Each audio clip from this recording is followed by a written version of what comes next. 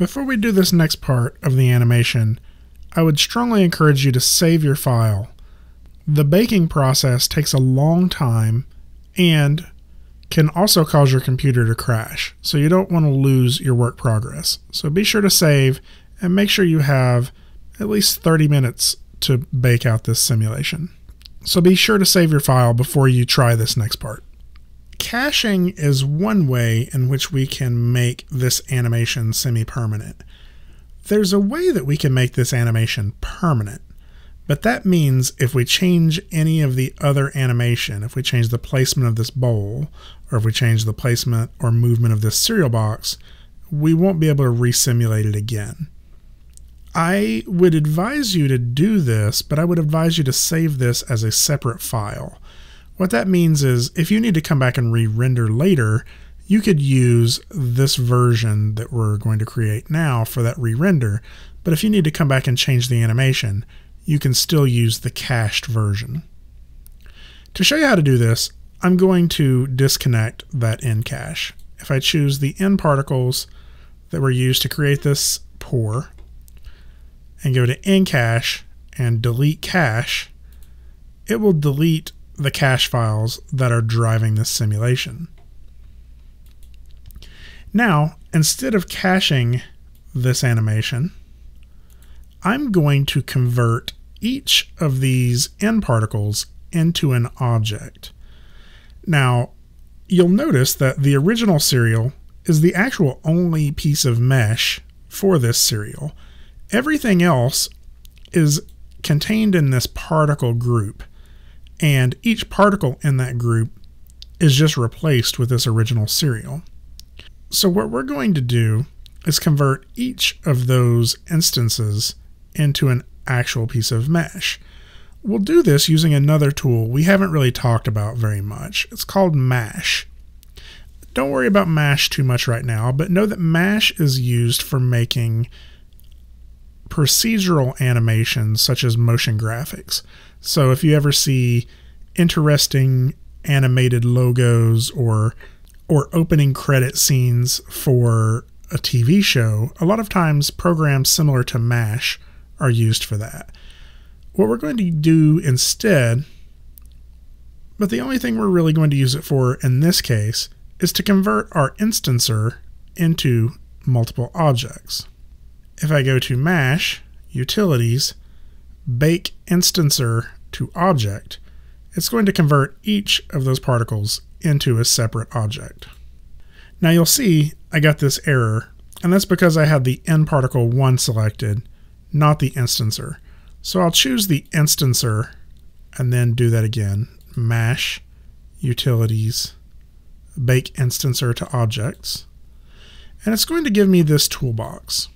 So I get the choice of baking a single frame of animation or baking the entire animation.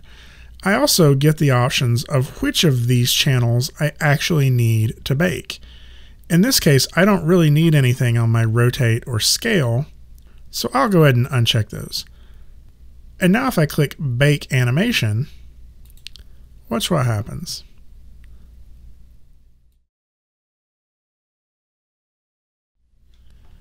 Okay, so that took a long time on my computer. That took almost 30 minutes. So it's definitely important to remember to save before you do this. But what you'll see is I now have a new folder in my outliner called Instancer 1 Objects. And if I expand those out, you'll see that it created an object for each of the animated particles. That means now I can delete all of this nParticle related elements and each of these particles have a keyframe on every frame of this animation. That means that these little pieces that fall out toward the bottom here, I could just select those and delete them. I'm going to look at frames 0 through the end.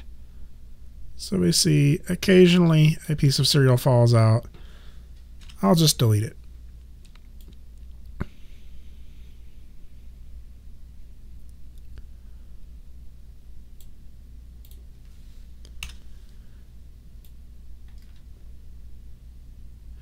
The other thing it means is once our cereal settles down right about here, I could also grab all of these objects and delete all of the keyframes after frame 127. So hold shift, highlight all of these, right click, delete. Looks like I have one more right past this. So ex extend this out to 250. Make sure I'm deleting that one as well. And so now the cereal is going to stop moving because there's no keyframes left. Actually, I didn't have everything selected, did I?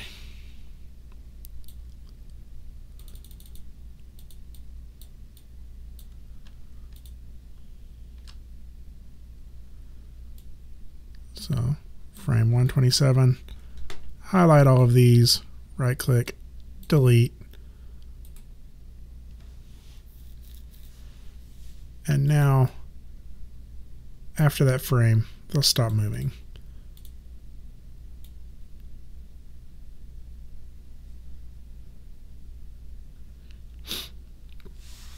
So,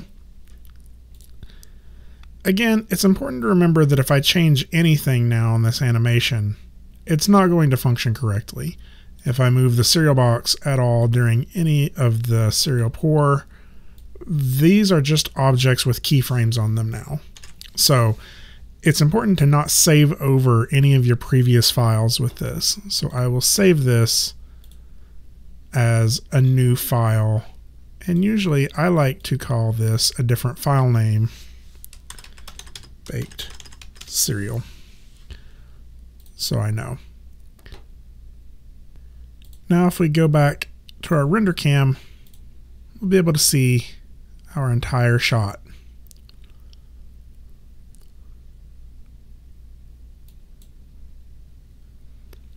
It appears that the animation is pretty much over by around frame 170, so that's the frame range that I can render to get my full animation.